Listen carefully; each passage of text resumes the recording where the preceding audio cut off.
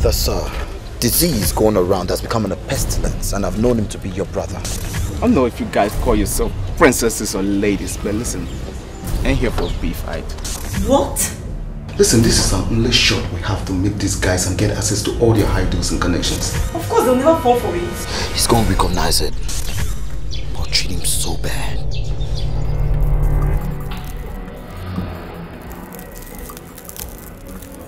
What is it? Isn't this a free campus? I was taking a break from studying and I saw you. See, that's the thing which really gets me wondering because, I mean, how did she get to find me? This is just a portion of land.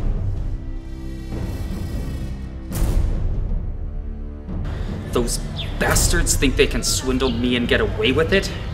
I will hunt them down and get every dime they owe my company.